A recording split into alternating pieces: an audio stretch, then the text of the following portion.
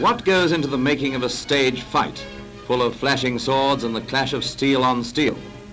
West End actor Patrick Crean believes that to give the audience value for its money, every stroke must be planned in detail beforehand. He works out the basis of the sword play on paper first, carefully mapping out each thrust and parry so that nothing is left to chance.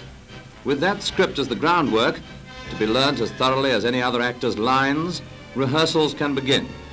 His partner in the fight, and in the school of fencing they run together, is Rex Rickman, competition fencer with the Grenadier Guards, who fought in the Brigade of Guards during the war. With model swords, they're going to see how those first ideas will work out.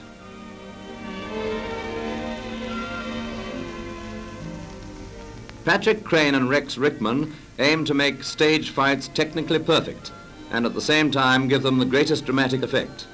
The result of all that planning is going to make the audience sit up during the duel scene in Hamlet.